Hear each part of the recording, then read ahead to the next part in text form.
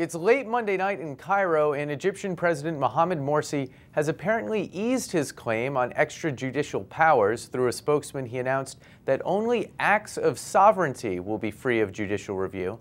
The announcement comes after a day of rioting, significant stock market losses, and a judiciary that was threatening to strike. Joining us now with the view from Cairo is the Post's Michael Birnbaum. Uh, Michael, good to have you. Uh, what was the argument anyway for Morsi assuming these powers in the first place? Well, Morsi's argument all along, since he announced these decrees late on Thursday evening, has been essentially that the judiciary in Egypt was uh, uh, comprised largely of Mubarak loyalists who had been interfering in the country's development toward democracy. Um, there have been a number of occasions in the past couple months when the Constitutional Court here in Egypt has indeed announced kind of surprising rulings. In, in one instance, it dissolved the parliament. Uh, that happened in June. And it looked as though in the coming weeks it was going to um, potentially dissolve the body that was writing the Constitution that has been plagued by a lot of infighting and disagreements about what role religion was going to have in the future Egypt. Where is the U.S. in all this? They did say that they were concerned, but they they didn't um, uh, come out in a big way against what Morsi did. Um, and this, of course, all happened on Thanksgiving.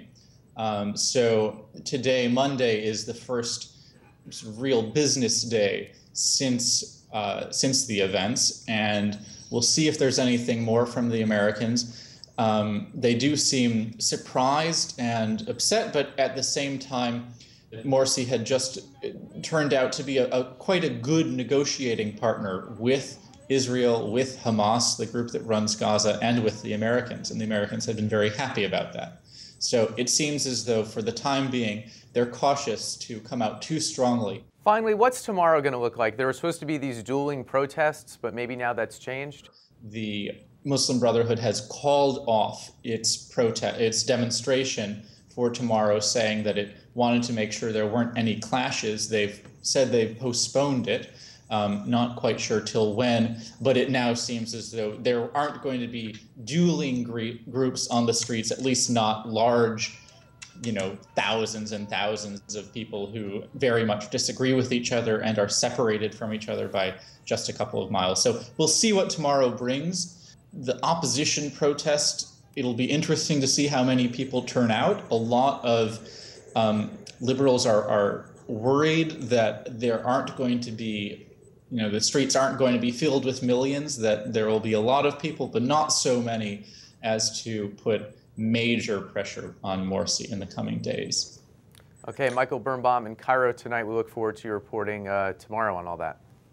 Thanks so much. Thanks